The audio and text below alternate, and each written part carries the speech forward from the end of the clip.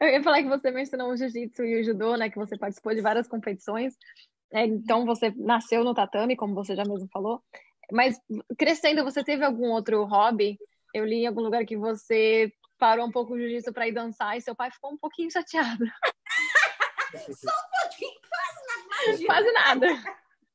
Não, mas foi uma época que foi muito bom para mim também, que foi aconteceu o seguinte, juntou que os treinos estavam ficando muito forte e sabe aquela fase que não sabe se é menininha ou se tá virando mocinha e tudo, e o pessoal começou a falar: "Nossa, Amanda, você tá ficando muito forte, você vai parecer homem". Né, né. Juntou isso e com os treinos tá forte. Eu falei: "Ah, quer saber? Não quero mais fazer luta, vou fazer dança que tinha na escola mesmo". Apresentei, fiz um tanto de apresentação.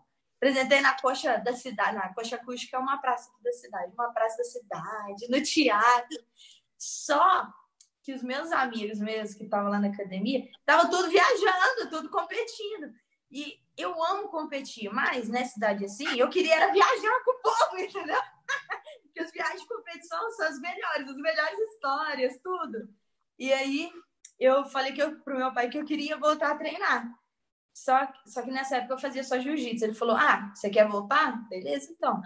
Mas se você voltar pro jiu-jitsu, você vai ter que começar a fazer judô para melhorar seu jiu-jitsu. Aí eu, poxa, será? Porque eu não gostava. Aí eu fui, comecei no judô, me apaixonei. E começou a ganhar bolsa atleta ainda, e que eu amei mais ainda. Por, por quanto tempo você ficou longe?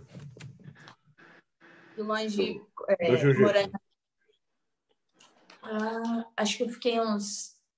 Então, quando eu comecei a fazer judô, ó, com os 12 anos eu tinha, de uns 10 aos 12, eu tinha parado só fazendo dança. Aí depois eu comecei judô e jiu-jitsu, judô e jiu-jitsu. Aí com 14 anos eu fui morar em Belo Horizonte. Daí foi só judô. Não teve mais nada. Mas, mas nesse período que você se dedicou à dança, sem, sem treinar jiu-jitsu, foi quanto tempo de ato aí?